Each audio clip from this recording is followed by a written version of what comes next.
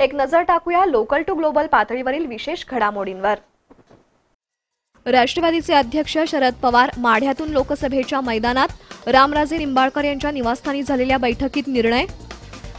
मुंबई महापालिकेत टेंडर घोटाळ्याचा अहवाल प्राप्त सहाय्यक आयुक्तांसह त्रेसष्ट अधिकारी कर्मचारी दोषी. राज्य शासनाच्या वतीनं देण्यात येणारे शिवछत्रपती पुरस्कार जाहीर मल्लखांब प्रशिक्षक उदय देशपांडे यांना जीवनगौरव पुरस्कार क्रीडा मंत्री विनोद तावडे यांची घोषणा. बेरोजगारी आणि नापिकीला कंटाळून शेतकऱ्याच्या मुलाची आत्महत्या अकोलातील बार्शी टाकळीतील घटना. बेडूक किती फुगला तरी बैल होत नाही विरोधी पक्षनेते धनंजय मुंडे यांचा मुख्यमंत्र्यांवर पलटवार. लोकसभेच्या आचारसंहितेपूर्वीच फुटणार म्हाडाची लॉटरी. मुंबई पुणे नाशिकात लॉटरी लवकरच निघणार असल्याची म्हाडाचे अध्यक्ष उदय सामंत यांची घोषणा. युती न झाल्या शिवसेनेचंच नुकसान सामाजिक न्यायमंत्री रामदास आठवले यांचं भाकीत.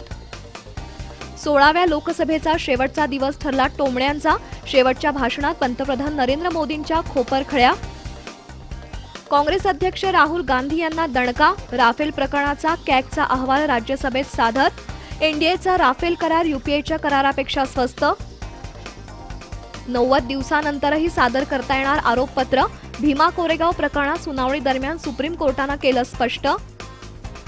अंबानींना तीस हजार कोटी देण्यासाठीच राफेलचा नवा करार काँग्रेस अध्यक्ष राहुल गांधी यांचा आरोप.